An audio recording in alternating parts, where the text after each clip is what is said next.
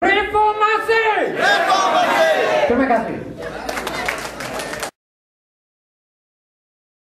Ya, suara denyut nadi tuntutan rakyat pelbagai kaum.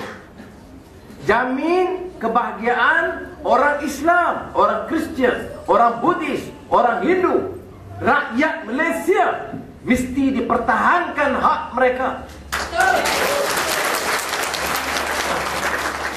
Ini mesej yang paling penting buat kita. Kita lawan UMNO sebab apa? Sebab dia mewakili kepentingan golongan yang rakus, sombong.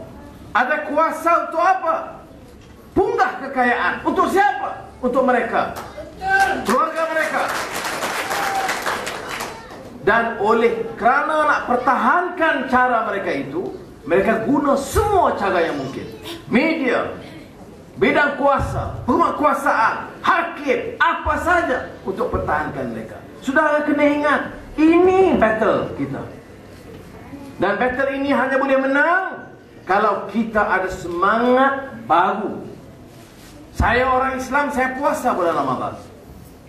Kita buka puasa. Kita undang rakan-rakan kita. Kerana apa? Kerana kita anggap mereka satu keluarga besar.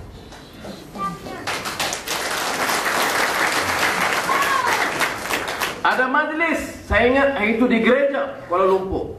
Bila orang-orang Kristian diserang. Pertama isu Allah, keduanya lontaran bom molotov. Maka kita turun. Bukan turun di perkarangan gereja, kita masuk ke dalam gereja bersama dengan padri-padri. Saya, Tugu Ustaz Hadi Awak, pemimpin-pemimpin PAS sama-sama dengan pemimpin-pemimpin DAP untuk menyatakan bahawa ini negeri kita. Ini rakyat kita dan ini hak kita. Jangan sesiapa siapa nak gugat kepentingan dan kuasa.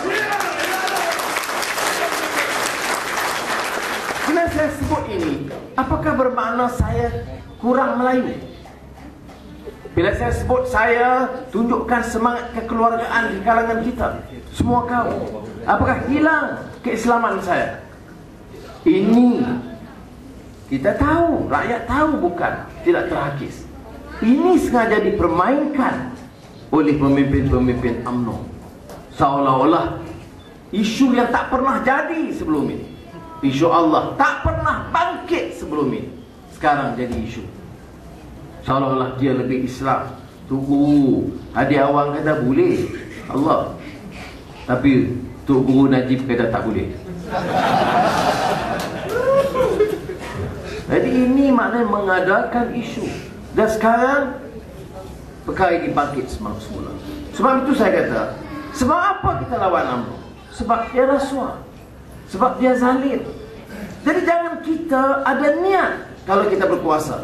Sama ada kita itu Muslim atau kadazan atau murud, dusun tanpa kira. Ini bukan soal suku kau. Kita janji seperti yang disebut oleh rakan-rakan kita Yang paling akhir Dr. Jeffrey Kita bawa perubahan itu Untuk memantapkan, martabatkan hak rakyat kita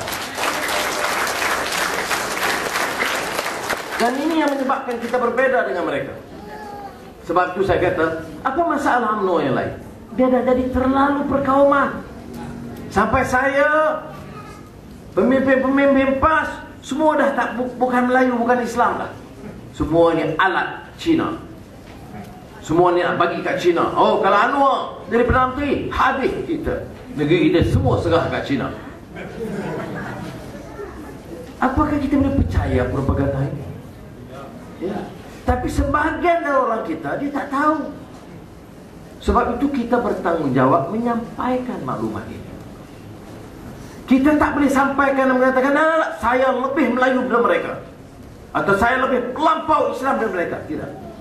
Kita hanya menunjukkan kekuatan kita budaya kita pahaman agama kita dan prinsip kebebasan dan keadilan yang kita nak pertahankan.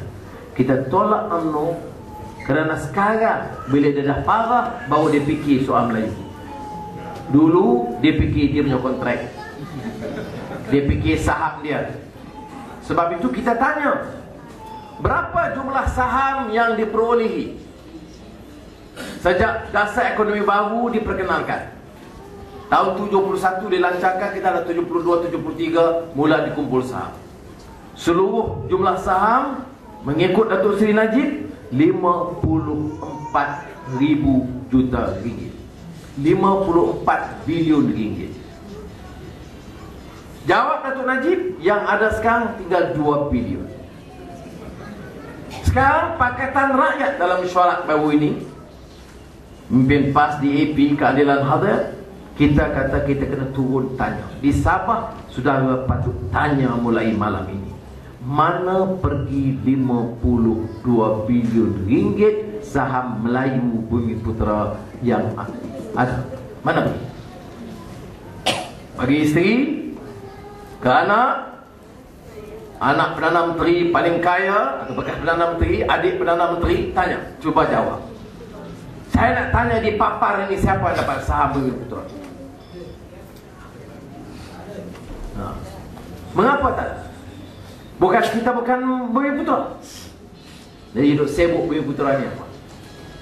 Sebab itu saya katakan, dasar kita apa berbeda?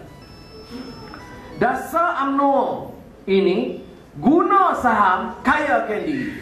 Bala kekayaan hasil masuk yang banyak memperkayakan segelintir kecil yang rakyat terbanyak, harga barang naik, harga minyak naik, hidup dalam kesusahan 30, 40 tahun tak banyak perubahan. negeri ini miskin, kita faham.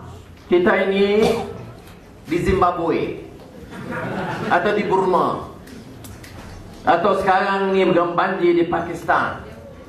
Susah. Ya. Tapi kita di Malaysia hasil minyak 70 bilion ringgit satu tahun. Satu tahun 70 bilion ringgit. Pemimpin-pemimpin kaya raya Rumah merata tempat Kekayaan bila kumpul begitu banyak Pemimpin mana? Melayu? Ya Cina? Ya India? Ya Kadazan? Ya Sabah? Ya Perak? Ya Ini masalah dia Bukan soal Sabah Bukan soal Selangor Pemimpin UMNO dengan sistem ini Serupa saja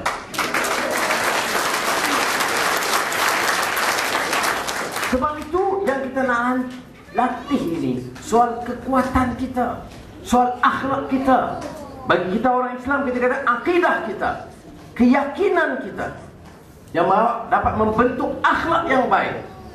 Dan ini yang nak kita bentuk. Kalau di kalangan kita orang muslim atau kristian Melayu atau Kadazan atau Murut apa yang akan berlaku? Apa yang berbeda ialah kekuatan moral mereka. Yang menolak rasuah.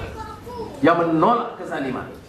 Saya katakan tadi dan saya ulang kita tolak UMNO kerana sikap perkaman mereka. Kerana tidak adil dalam tindakan mereka. Maka jangan kita permainkan isu yang sama seperti mereka permainkan. Dan sebab itu saya ucap terima kasih kepada saudara kita kena ikut semangat baru ni muafakat baru ada orang cuba tafsir. Termasuk dalam konteks Sabah Sarawak bangkit isu-isu ini. Saya nak bagi tahu kita kena terima kenyataan ada tempat dalam perlembagaan kita kedudukan bahasa Melayu kedudukan Islam kedudukan hak keistimewaan kedudukan gajah-gajah Melayu itu kita tidak perhatikan tetapi peruntukan-peruntukan itu bukan untuk bertindak tidak adil kepada orang lain.